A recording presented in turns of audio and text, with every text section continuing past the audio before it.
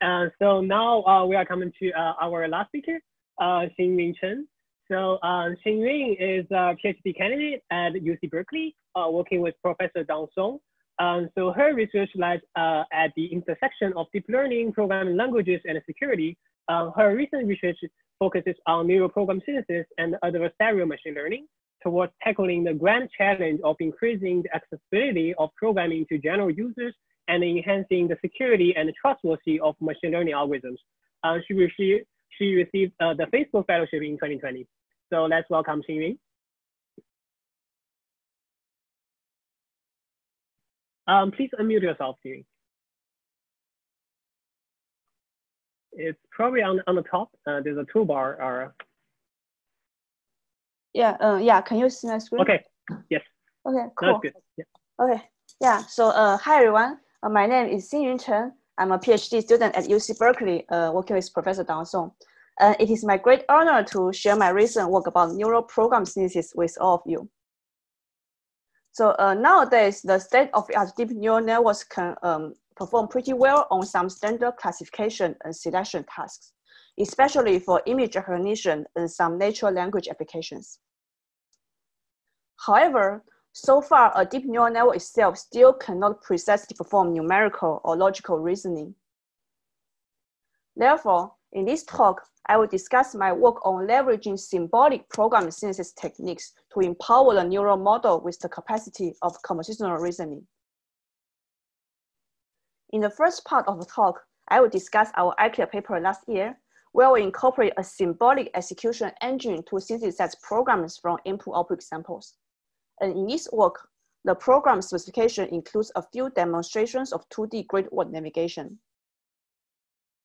Then in the second part of the talk, I will discuss our ICLR Spotlight paper this year, where we propose neural symbolic techniques for reading comprehension. So let's start with the first part of the talk about program synthesis from input-output examples. And we consider the Karel domain so in the previous uh, talk, uh, uh, Richard has provided a very nice introduction of the Karel domain and the problem setup of input-output program synthesis. And now I would like to uh, go into more details about the, the uh, problem here. So basically, uh, for um, program synthesis from input examples, we are provided with several pairs of inputs and outputs, which means that when we provide these inputs to the synthesized program, its output should match what has been specified here. Then these pairs of input-output examples will be provided as the input to a neural model, which synthesizes the program accordingly. Then, uh, as we can see, a Karel program here uh, controls a robot in a 2D grid world so that it can reach the output state from the input state after execution.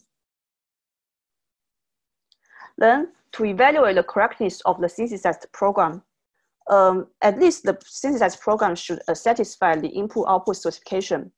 And besides that, we also construct some uh, herd test cases uh, to see whether the generalized generated programs can still uh, generate the desired outputs in these cases. Then, as we can see from the Karel program, uh, this language uh, in, uh, is not uh, completely uh, sequential. So basically it uh, includes some control flow constructs such as loops and conditionals, which increases the complexity of this grammar. Then before we dive into the, our approach for input program synthesis, let me pro provide a brief recap of existing neural architecture for um, input program synthesis and see what are, the, what are missing there. So basically, uh, the model is provided with a k input output pairs as the input. And usually we consider k to be a small number, like for our Karel task, k is equal to five. Then in the neural network architecture, uh, we have an encoder to compute an embedding vector for each of the input pairs. Like for our Karel task, we use a convolutional neural network to uh, embed the 2D grid worlds. Another part of the model input uh, P is denoted as PT minus one, which is the um, uh, which is the program token generated in a previous time step. Then both parts of the input are fed into a language model as the decoder, which generates the next program token PT. Uh, so uh, basically, uh, this entire model generates the program a token by token in a sequential way. Uh, so basically, uh, this uh, architecture is kind of a um, direct adaptation of existing encoder-decoder architectures for other tasks such as image captioning or natural language generation. Then, what could be the potential issues here? Uh, notice that during the entire program generation process, we always feed in the initial input-output pairs as the model input uh, without considering the uh, execution results of the program. Then let's look at a concrete example and see why this could uh, be suboptimal in some cases. Uh, suppose we want to synthesize uh, programs to satisfy these two input-output pairs. So this problem is relatively easy and can be solved by a sequential program, where the robot first puts a marker in its current cell, then moves towards its northwest direction. So at the first time step, the model should predict a put marker statement, which uh, puts a marker in the current cell. Then, after this prediction, somehow the grid worlds uh, should be more similar to the uh, target output states. So um, in, in some sense, the program specification is supposed to be changing over time. However, uh, uh existing uh, neural uh, architectures for program synthesis don't take such state transition into account and still feeding the same input pairs uh, throughout the time. In this way, the semantic meanings of programs is not effectively leveraged by the synthesizer. Therefore, uh, we propose a technique called execution guiding neural program synthesis. So let's look at the same example of specification as shown in previous slides.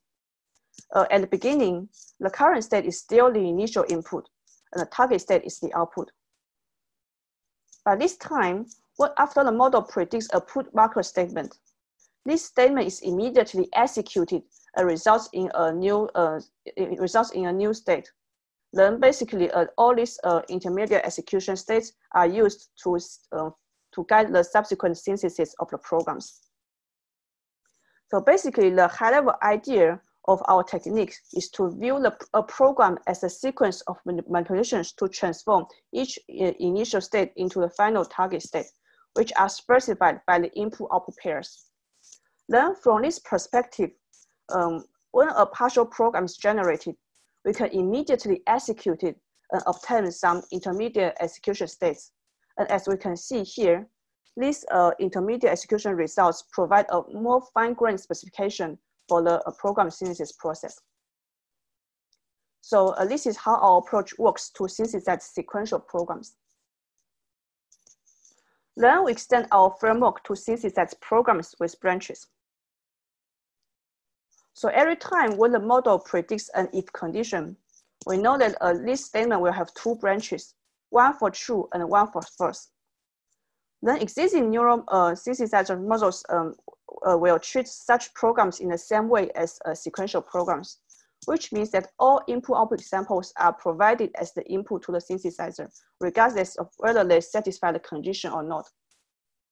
However, intuitively, the synthesis of the true branch only depends on those uh, input states that satisfy the condition, and the synthesis of the first branch depends on the rest of the samples. Therefore, in our execution guided synthesis framework, every time when the model predicts an if condition, uh, the model will immediately evaluate it on the input output samples and split them into two subsets, one for true and one for false branch. Then the two subsets are uh, fed into the synthesizers to uh, generate the true and false branches uh, uh, respectively. Then finally, um, these two the uh, predictions of these two branches are merged together to form a complete if statement. So in this way, our synthesizer can better utilize the semantic meaning of the programs. Uh, finally, let's see how can we uh, leverage our execution guided synthesis to generate programs with loops. Uh, for repeat loops, its semantics can be equivalently uh, represented using the loop unrolling technique. So the same technique for synthesizing sequential programs still applies here. Then to synthesize the while loops, uh, an important observation is that uh, a while, the meaning of a while statement doesn't change if we append it inside another if condition if statement with the same condition and body. For example, the, this while statement while front is clear, put marker move is equivalent to if front is clear, put marker move uh, followed with the same while statement. Inspired by this observation, we can adapt our technique for synthesizing if statements to synthesize a while loops in this language. So basically, every time when we generate a while condition, we know that only those inputs that satisfy this condition will be relevant. Therefore, again, we evaluate uh, the, the, this while condition on top of the input examples and select the subset that matches the condition, then generate the uh, body of the while loop uh, accordingly. Then, after the, mono, the neural model emits an end token for the while loop, the execution of the entire loop terminates so that the model can go forward to synthesize the rest part of the programs. So uh, this execution guided synthesis technique is the main one we proposed in this work. In addition, we also propose execution guided ensemble for program synthesis. So in particular, we make some adaptations on top of the standard ensemble technique so it is aware of the semantic meanings of the programs. So basically, for most deep learning tasks, when we obtain different predictions of, uh, from uh, various models uh, without knowing the ground truth stable, it is typically hard to tell which is the correct prediction we want. However, for program synthesis, we can take a simple sanity test by checking whether the synthesized program satisfies the input-output examples. Then for ensemble, we can already filter out those predictions that uh, are not consistent with the specification. And notice that passing the input-output uh, specification doesn't necessarily mean that the program can generalize to the hurdle test cases. But at least there, uh, at least this is a very strong necessary condition. Then, to ensemble the remaining uh, predictions, we studied several variants of ensemble principles and we present the most effective two here. And actually, they are also pretty simple. The first principle is always uh, selecting the shortest program as the final prediction. The second method is to select the majority vote from the predictions, which uh, aligns well with the existing ensemble techniques. Then here are the results we compare with our work with Spano et al. Uh, actually, this is the same uh, um, model that has been introduced in Rishabh's talk. So basically, uh, this work applies exactly the same neural net architecture as we described before, but it didn't apply our proposed uh, execution guided synthesis and ensemble techniques. And we refer to their approach as MLE here. And we evaluate uh, two metrics. One is called exact match, which means that the prediction is exactly the same as the ground truth program. Another metric is called generalization, which means that the prediction is not necessarily be the same as the ground truth program, but uh, still it can satisfy both the input examples and the hurdle test cases. Uh, we can observe that uh, each of our proposed techniques itself can significantly boost the performance over the baseline, regardless of whether it is trained with supervised learning or reinforcement learning. And in particular, by combining both of our proposed execution guided synthesis and ensemble techniques. Our approach can improve the generalization accuracy from 77% uh, to 92%, so which is a 15% performance gain. Then in the second part of the talk, I will discuss our latest work on neural symbolic reasoning for reading comprehension. And this is my internship project last year at Google Brain. So a reading comprehension has been a popular task for natural language understanding, where uh, given a question and passage as the input, the model needs to provide the answer to the question grounded on the passage. And as we can see from this example, uh, most answers to uh, um, the uh, questions in standard reading comprehension benchmarks come from a single span in the passage. Therefore, the state-of-the-art reading comprehension models are typically designed to support single-span extraction. Specifically, a language model such as BERT is used as the encoder to compute an embedding vector for each token in a question and passage. Then, there are several uh, fully connected layers on top of the encoder to compute a probability for each passage token and see whether it could be the start or end of the answer span. The ground truth answer spans are provided in a training set, uh, which could be used for uh, model supervision. And although such a framework looks pretty simple, actually these models work very well on standard reading comprehension benchmarks that mainly require single span extraction. And on some data sets, it even surpasses human performance, such as on SQuAD. The main progress so far comes from the development of large-scale pre-trained language models, such as uh, BERT, uh, more recently, uh, XLNet, uh, RoBERTa, Albert, etc. So at this point, perhaps a common thought among people is that good pre-trained language models are all you need for natural language processing. But is it really the case? Earlier last year, there was a data set called DROP, which is designed to emphasize discrete reasoning for reading comprehension. As you can see, some categories of questions clearly cannot be answered by existing span extraction-based models. For example, arithmetic questions require manipulating different numbers appeared in the paragraph. Counting questions require identifying all mentions of related entities from the paragraph. And multi-span questions require including more than one span from the passage to form the final answer.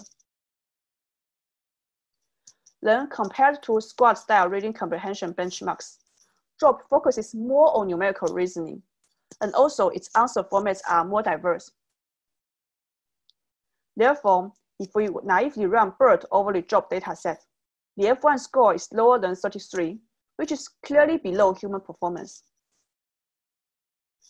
So the main message I want to convey here is that pre-trained language models are definitely important, but not the only thing you need. To get a good performance on this dataset, most existing work design specialized modules to answer different types of questions in the DROP dataset. So here, the reader component is an encoder to compute an embedding vector for passage and, and question. And typically it is designed in the same way as standard reading comprehension models. Then for answer generation, the model first uses the classification module to decide the type of answer that is required for the input question, so that it can call the corresponding module to provide the prediction. So the concrete design of these modules can differ among different uh, work but uh, basically, the entire model is kind of a hack to achieve a good performance on this specific DROP data set. And this model is usually easy to train because uh, each module is formulated as multi-class classification with task-specific heuristics. However, such a model design does not support compositionality. For example, the span module cannot be easily called for more than once to support multi-span questions. And also it is hard to generalize to different types of questions because different types of questions could require a different a module and heuristic design. Another way is to design a neurosemantic parser to solve this task. So the idea here is that we need to use an external tool to pass the natural language text into a structured representation, uh, such as key value tables. Then we can um, use, we can do a search process on top of this structured table to find those uh, programs that can lead to the ground truth answer so that we can train another neural semantic parser on top of this preprocessed version of the data set. The advantages of this kind of design is that it supports compositionality and also more advanced operators can be easily added into the domain-specific language. However, the main downside is that the performance is pretty poor. It is even much worse than a simple BERT. The main reason is that the preprocessing step of passing the text into structured representations is highly error prone. For example, if we use the semantic role labeling tool to um, uh, find the ground truth programs, then typically it can only uh, search for around 35% of the training samples, uh, which uh, clearly limits the performance of the overall model. Uh, therefore, in this work, we propose a neural symbolic reader framework, what we call NERD, to, um, to like uh, perform advanced reasoning for reading comprehension.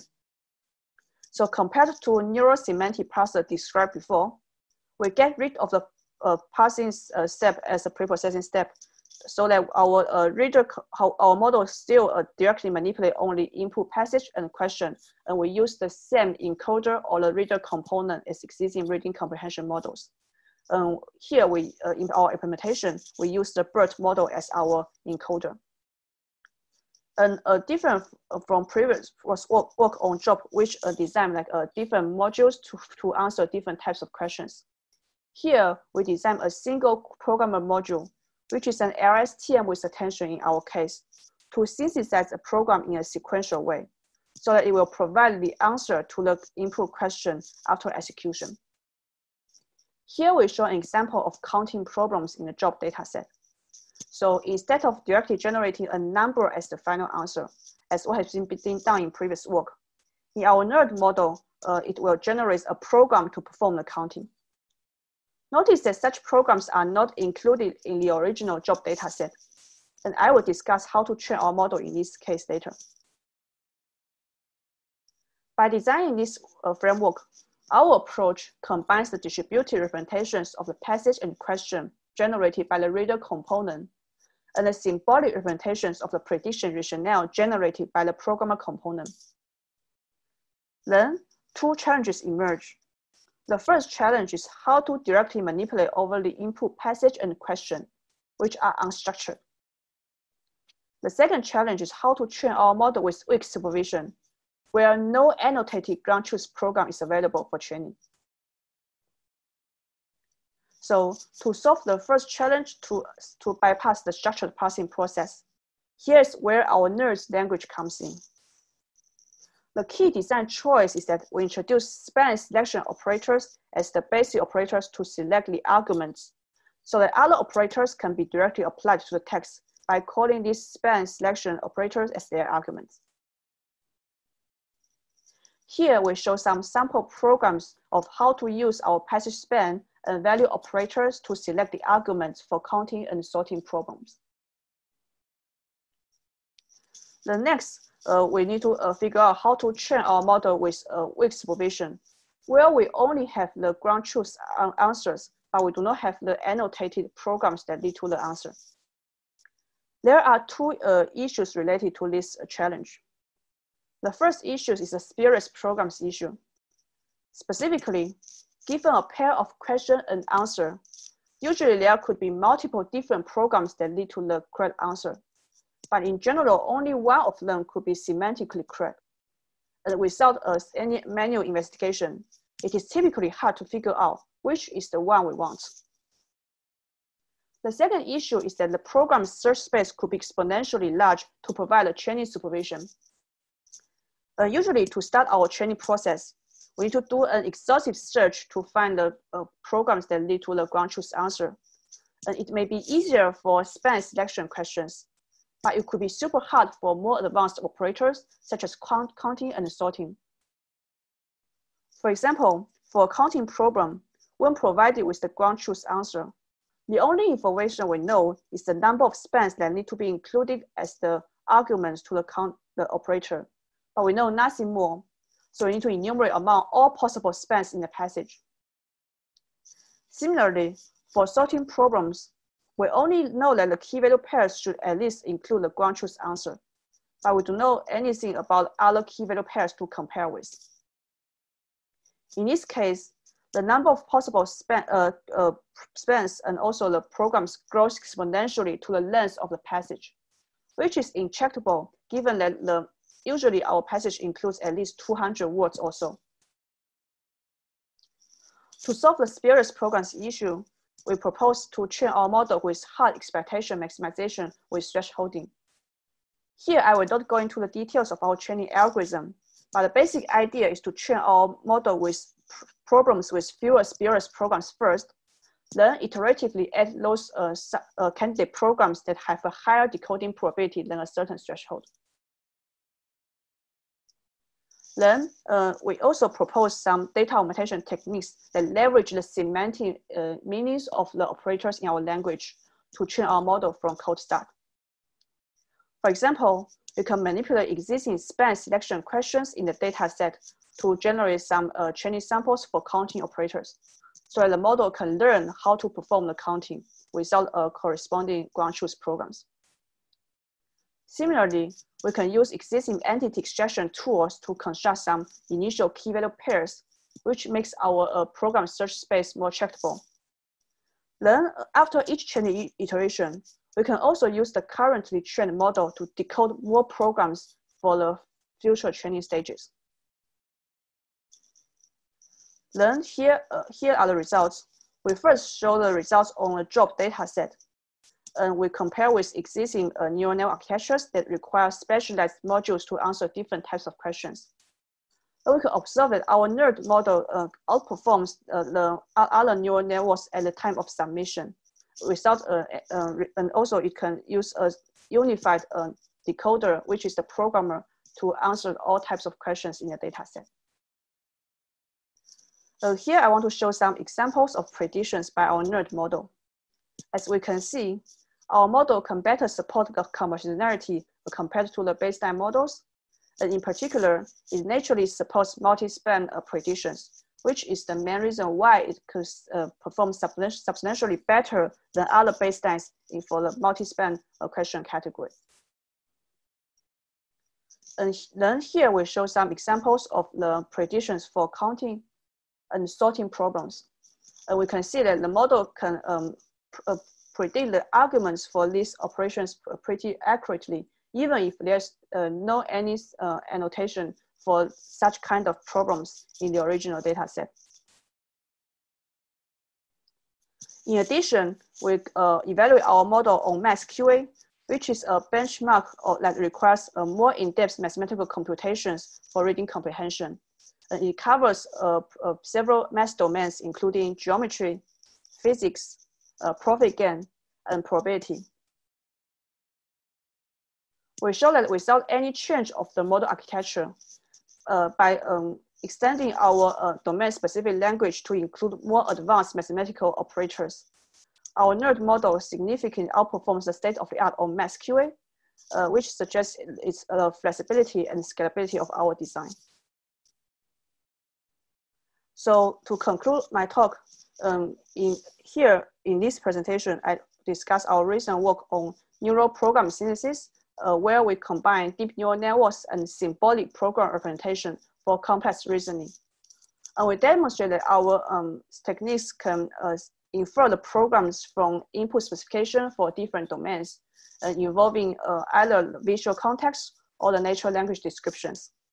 And for future directions, we consider extending these techniques to jointly consider visual and language specification as a pretty uh, promising direction. Then to improve the performance of the program synthesis models, effectively incorporating program semantic information provides a richer guidance for the synthesizer. For example, we demonstrate that leveraging intermediate execution results and semantic characteristics of the instructions is beneficial. Uh, finally, I would like to thank my advisor, Professor Dawn Song, and my collaborators of these projects uh, from Berkeley and Google Brain. And thanks, thank you all. And I would like to take uh, some more questions. Thank you, Xinyun. It has been a really good um, presentation. And uh, so um, uh, we got some questions from the audience. So mm -hmm. the mm-hmm. first question um, comes from uh, someone who said, uh, he or she was just new to this field and trying to get more understanding of this domain. So um, uh, the uh, the um, he said, um, so um, I'm curious about how neural program synthesis differs from um, deep reinforcement learning in the sense that um, deep RL also tries to obtain a like a sequence of actions to get to a target state from a starting state, which looks mm -hmm. very similar as uh, especially compared with your uh, previous work and discussion on this Karel domain. so maybe you can give us some more um, uh, detailed, you know, from your perspective, what, what do you think the what's the connection and what's the difference between these two? Thank you. Sure. Uh, I think um, if we like only consider like uh, programs that only include like sequential operations, then if we just view it as a action sequence, then it's kind of a pretty uh, similar to the RL domain if you want to do some like navigation task. But uh, there are two uh, main differences. One is that in the pro in the program synthesis domain, usually um, uh, we will have uh, more constraints in terms of the syntactic and semantic uh, meanings. Like for example, for the Karel or some some more advanced programming languages, we have control flow constructs. So we which uh, are not very easy can cannot easily um, formulated as a sequential generation process. So this is uh, one one difference. Another difference is is that um, for the RL um, domain, um, I, I think for RL domain, usually we um, we will um, have a kind of a very um, uh, a, a, pretty, a pretty like um, specific specific goal. Like uh, for example, we want to uh, even if uh, there are multiple traces that lead to the lead, lead to the uh, final output, then usually the, usually we will consider the, the shortest one to be optimal or something. But for program synthesis, uh, usually um, such kind of constraints are more in, formulated in the like in the grammar in the, in the grammar space. Like for example, for the Karel, we will have we will uh, enforce that the same uh, program can like um, satisfy uh, multiple different improper pairs instead of just focusing on a, a specific improper pair. So I think uh, usually the main differences come from the like the like the grammar, the semantic uh, space, the grammar constraints, and also uh, sometimes the goals can be different. But uh, clearly there there is some connect connection be between them. Okay, yeah, thank you. And uh, the other question uh, that I personally have actually mm-hmm. is that uh, when you're when you're talking about you know synthesizing algorithms to uh, accomplish a Keras domain task or to answer a specific question, you mentioned a lot about this uh, how to re resolve these spurious program problems. So mm-hmm. I, I think in my understanding, this is partly because because right now you're only uh, the goal is to synthesize a program that can be executed to derive the answer specifically to the specific question. So if you're only having one uh, example, specifically one answer to the question, uh, then there can be many, many different programs that all, um, you know, all satisfy, uh, uh the, uh, like that can, whose uh, execution result or um, satisfy the answer you are given. So, um, and how do you think um, you can potentially extend this idea, like some of the idea you're describing, to synthesize programs that can be uh, more general, uh, like uh, for example, one specific example I have is that in the in robotics domain, sometimes people talk about when you are trying to um, put all the dishes into the dishwasher. So mm-hmm. one one possible program is that you just put one dish uh, into dishwasher uh, at, a, at a step and then and then at once and then you you stack many many uh, like a sequence of these put dish into dishwasher uh, uh, comments in, into a single program, and then you can finally achieve this uh, uh, this task. But uh, as human or like a like a more uh, intelligent uh, learner, uh, we're expecting our uh, program to synthesize programs with loops, you know, so that probably it can generate more um, a, a, larger uh, number of scenarios where you may have more dishes, for example, or smaller uh, number of dishes. So mm -hmm. how do you think uh, some of your work or some of the idea can be extended to uh, work on this, you know, such kind of like a generalized um, programs domain. Thank you. Yeah, sure.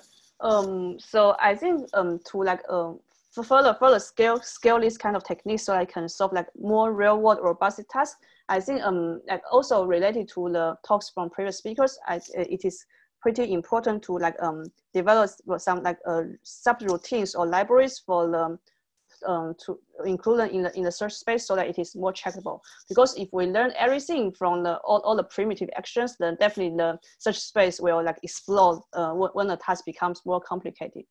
Then um, to learn this, um, definitely the, um, in terms of concrete techniques, then curriculum learning is definitely important so that we can like learn the learn these libraries from some uh, simple tasks first, and then like extend more into like more, more sequential or more com compositional tasks and also uh, sometimes um, I, for if, if we have a very like um concrete or specific domain, I think it is also fine to include like some, some more human knowledge to uh, further like structure our search space. Right. Yeah. This reminds me of uh, a technical question that I had in my mind uh, regarding your uh, regarding your, especially the first part of your talk, uh, where mm-hmm. um, so when you are synthesizing multiple programs, uh, so what's the what's the metric that you are using to rank them? It, are they just based on you know the program length or uh, you know the, the the likelihood produced by a neural network, or do you have any other types of more domain specific or domain independent ranking functions for different candidate programs. Yeah.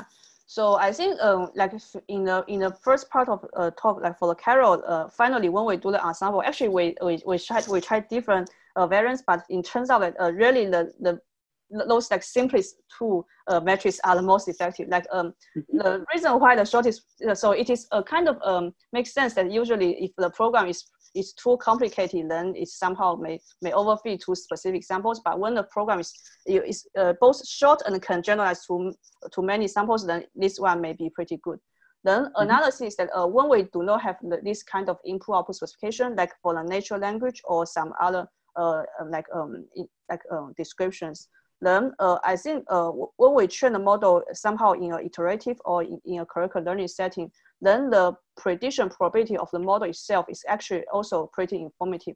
Like for the for our like reading comprehension task, we find that um, after we uh, uh like iteratively train train the model, and when we use the the the prediction when we like kind of feed in the, the uh, candidate programs and get their probability, we can find that uh, those uh, programs with very low probability are, are actually could be potentially annotation errors or are kind of off.